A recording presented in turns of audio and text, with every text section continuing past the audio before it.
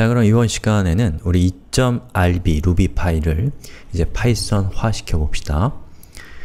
자 새로운 Python 파일을 만들겠습니다. 자 split right에서 오른쪽으로 보내고 음 한번 해보죠.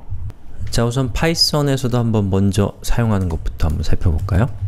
i는 cs 괄호 열고 괄호 닫고 이렇게 한 Python instance가 만들어지겠죠.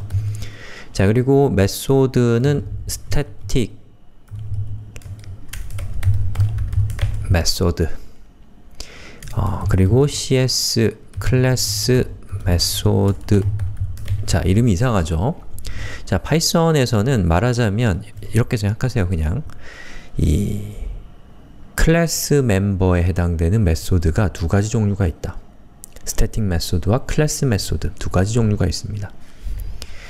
그리고 i.instance method 이렇게 실행을 해볼 거예요. 요게 가능하게 하는 코드를 이제 직접 짜봅시다. 자, class cs 땡땡 그리고 def 우선 static method라는 것을 이렇게 하고요. 그 다음에 print static 음, 아직 static method가 뭔지 설명 안 드렸습니다. class method print class method 이렇게 하고요. def instance method 이렇게 print instance 이렇게 되죠. 자 그리고 instance method는 첫 번째 인자가 있어야죠. 이거 우리가 지금까지 사용해왔던 method가 instance method예요. 자, self라고 하는 첫 번째 인자를 주도록 되어 있었죠. 예, 이렇게 됩니다.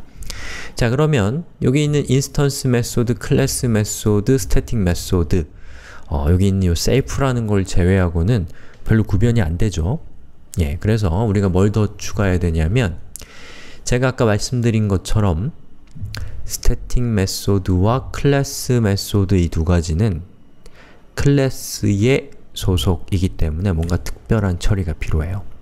Ruby의 경우에는 보시는 것처럼 cs.class method를 통해서 이 method가 클래스에 속해 있다라는 것을 명시했는데 이 Python에서는 이렇게 하는 겁니다.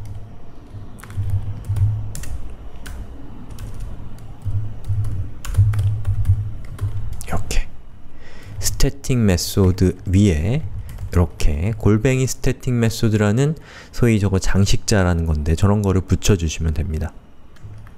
자, 그 다음에 class method 위에는 class method라고 하는 이렇게 생긴 장식자를 붙여주시면 되고 그리고 class method는 cls라고 하는 첫 번째 인자가, 첫 번째 매개 변수가 있어야 됩니다. 마치 instance method가 self를 갖고 있는 것처럼요. 여기 있는 cls가 어떤 의미인지는 우리가 다음 시간에 살펴보도록 하고요. 이런 형식으로 여러분들이 static method와 class method를 사용하시면 됩니다.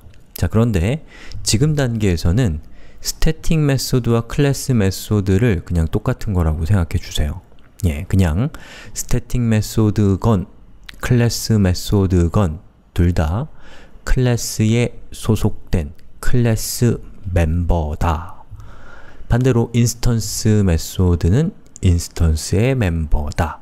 딱 이렇게만 생각해 주시면 되고 이 두 가지는 그냥 일단 같다 라고 생각하시면 되겠습니다.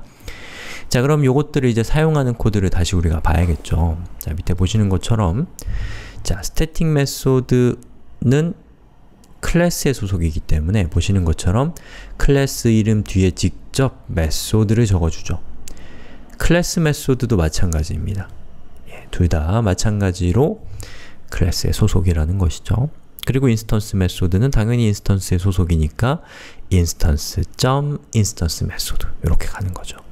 자, 제가 이게 강의 만들면서도 아, 여러분들 참 재미없겠다 이런 생각이 들어요. 이 형식이 살짝 복잡하기도 하고 뭔가 좀 왜 이런 걸 써야 되는지에 대해서 아직도 좀 감이 안 오실 상태이기 때문에 그리고 또 제가 이름을 또 이렇게 막 class method 이렇게 해놨더니 여러분이 좀 헷갈릴 수도 있거든요.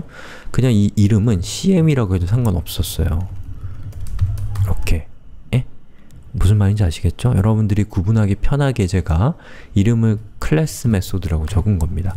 예, 이름은 아무거나 해도 상관없고 여기에 있는 이 부분 요 골뱅이 class method, 골뱅이 static method 이거는 저거는 규칙이기 때문에 꼭 저 이름을 쓰셔야 됩니다.